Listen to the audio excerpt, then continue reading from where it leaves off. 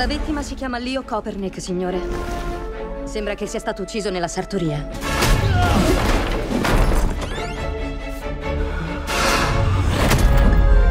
E poi trascinato qui. Messo in scena, per così dire. Scusi, signore. Mi dica per quanto tempo ancora ci terrà in ostaggio? Questa è l'idea? Radunare i sospettati e interrogarli finché il mistero non sarà risolto? Marvin Cocker Norris, drammaturgo sopravvalutato. Celebre drammaturgo.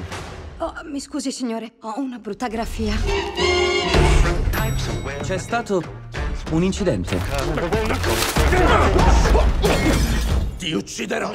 Vale come confessione. Non salti subito a conclusioni, agente. Che cosa abbiamo qui? Gli straordinari, eh? Uccide Copernic per coprire la tresca. Caso chiuso. L'ho fatto ancora, eh, signore?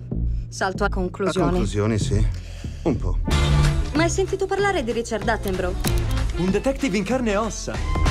So che siete venuti alle mani quella fatidica sera. Sono stata io, detective. La arresto per l'omicidio di Leo No, no, Copernic. Abbiamo un assassino seriale a piede libero. Porta! Ehi, tiene la chiave! Sotto lo zerbino. Non siamo solo dei sospettati. Siamo anche delle potenziali vittime.